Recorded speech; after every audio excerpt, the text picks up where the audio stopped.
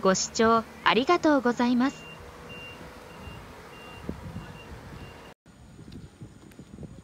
天野安河原。入り口。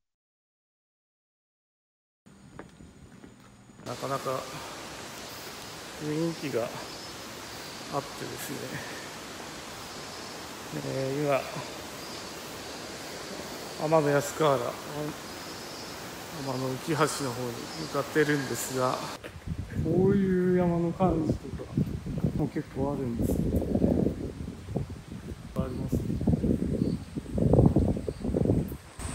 やっぱ昔からあってって感じですよね。ななんなんですか？切り取っ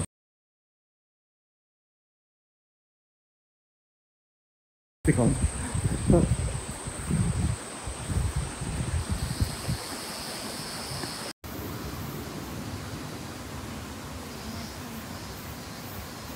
何の石垣でしょうね。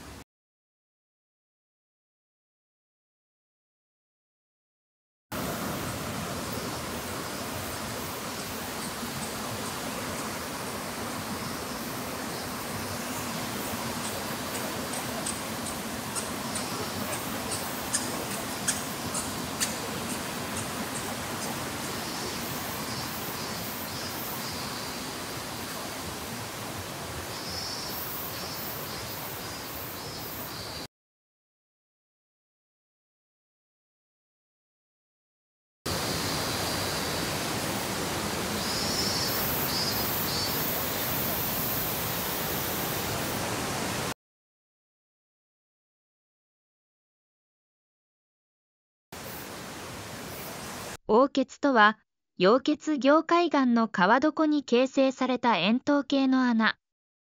砂や石を巻き込んだ急流が川床の柔らかいところを丸く削り込み小さな石などが回転し穴を広げることで形作られていきます。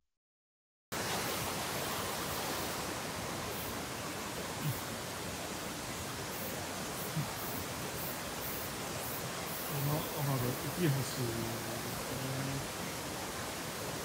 あのスピリチュアルカウンセラーで有名な井原さんがちょっとここに入って、えーテレビになんか載ってましたけどすごいところですね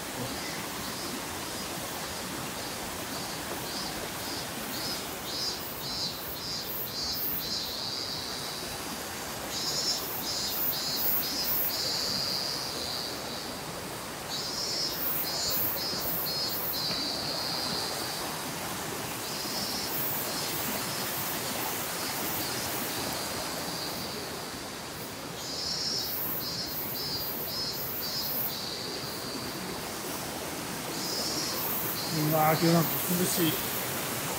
マイナスイオン。すごい涼しいです。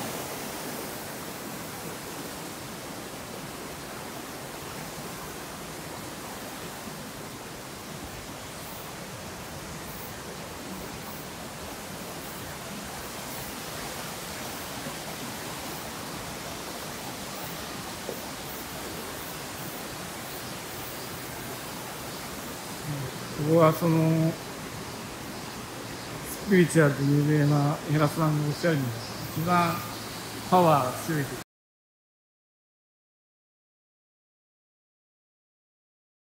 そうですね。確かに改めてこう意識して来てみると涼しいですね。爽快感がすごくて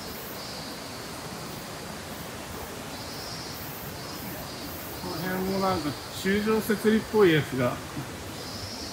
この辺も阿蘇のあの阿蘇溶血凝海岸、ね、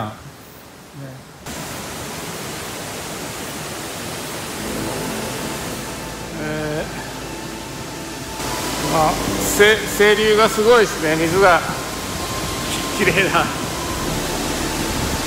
すごいあたりですね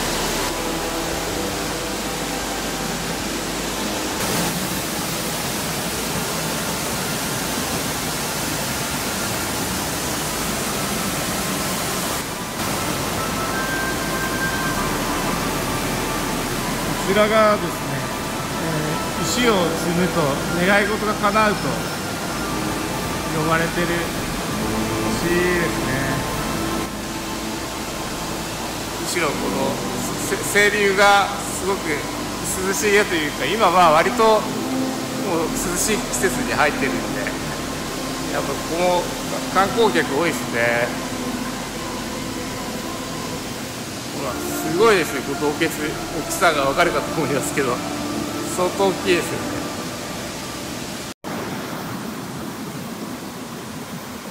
なんかこういう洞穴ですね。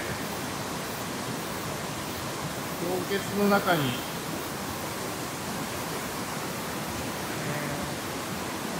ー、おそらくこれ古代の遺跡というか、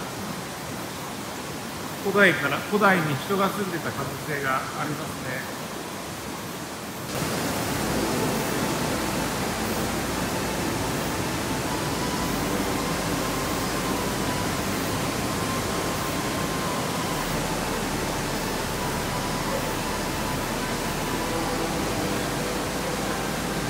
本当もうあの若干めまいがちょっとしそうに なる感じというか。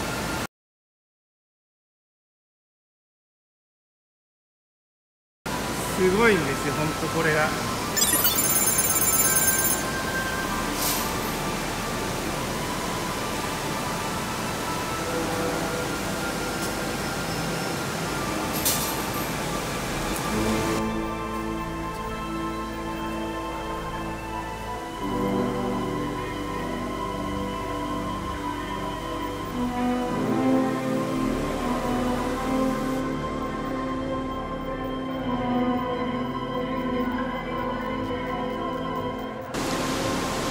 結構やっぱ絵的に 絵的にすごいっていうか映像的にすごいというか。あすごいですよね本当。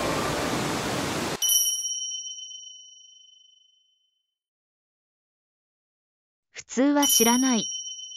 天の安河原の本殿。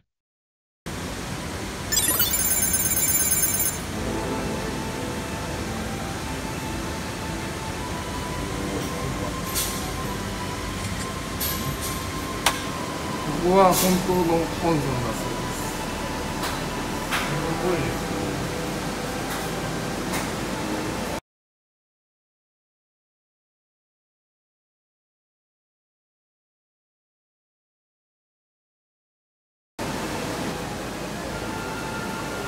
今こっち側があの通常のお参りをする場所なんですけど